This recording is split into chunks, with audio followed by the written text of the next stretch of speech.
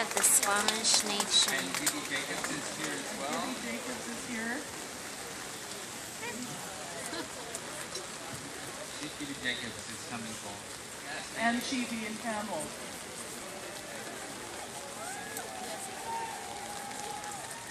Who loves you? I love you.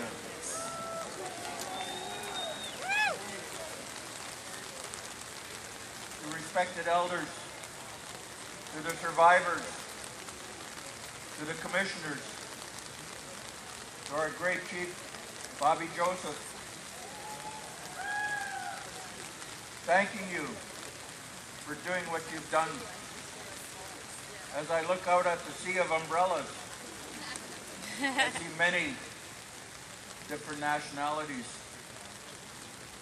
To me, this is the first step of us creating a common agenda.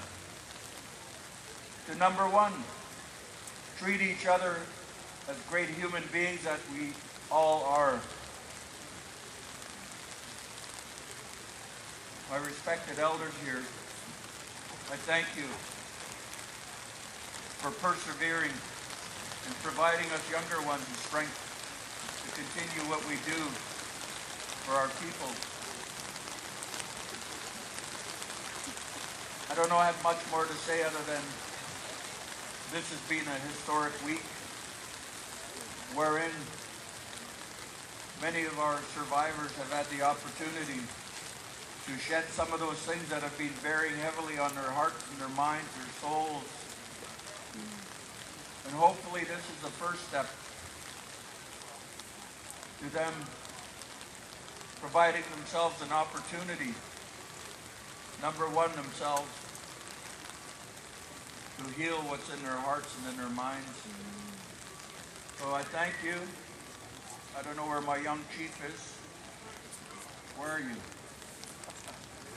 Sukyosia, Chief Ian Campbell.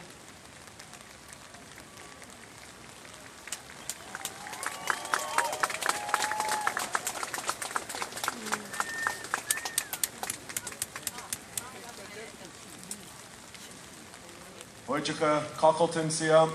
Thank you to our Chief Cockleton and Wojciech Tanoya.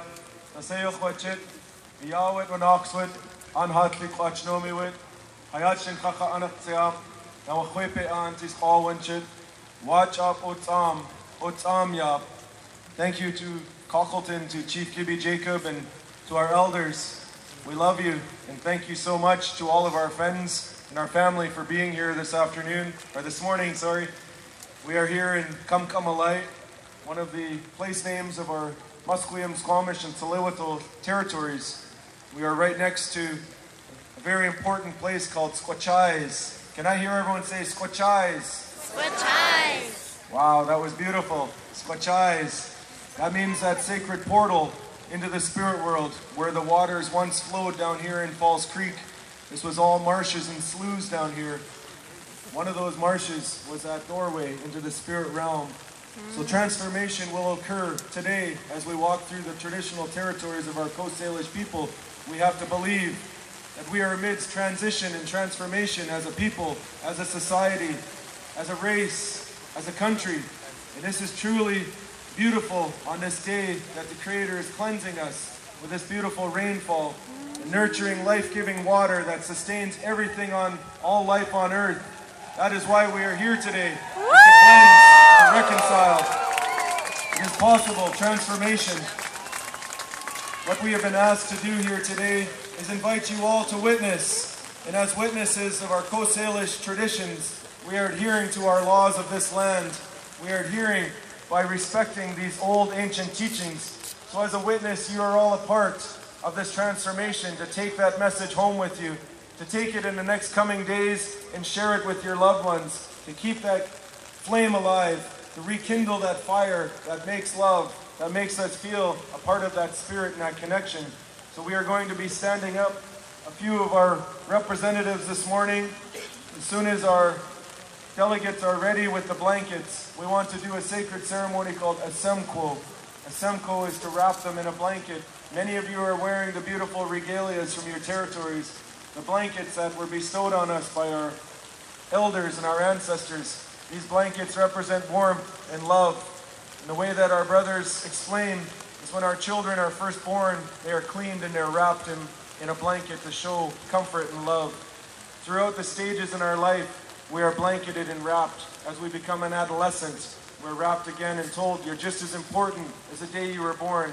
And as we become uh, married and as we become adults, we're once again wrapped.